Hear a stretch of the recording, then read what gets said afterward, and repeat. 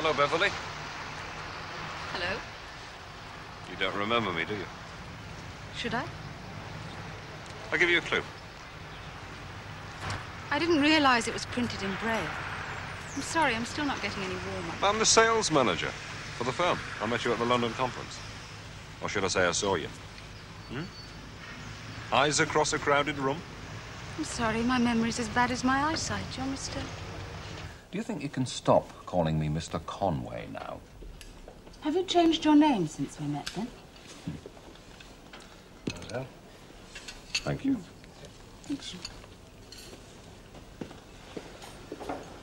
How are you enjoying the job? It's fine, thank you. You like being away from home, do you? Mm, not particularly. Oh. A home bird, let loose and suddenly rather lonely then, right? Wrong.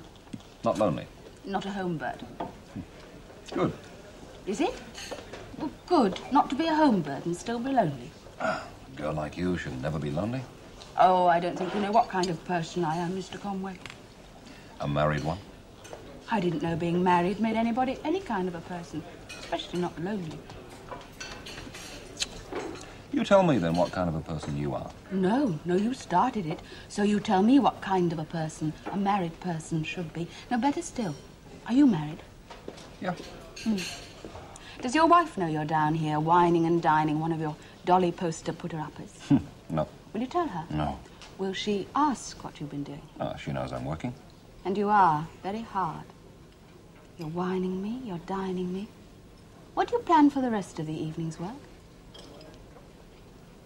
What would you like to do? Do you find me attractive? Yes. Do you want to rip my clothes off and make love to me? Not right here, no. Damn you. You've got a sense of humor. It's not limitless. I'm afraid I don't really understand you. No, well, that makes two of us. Do you know what I really like about you? You're so bloody simple and single-minded. You can't be hurt because you have no integrity at all. You don't even play cricket. Now, why can't all men be like you? Why do some men care so much they keep walking into the same punches? By the way, I have no intention of going to bed with you, Mr. Conway.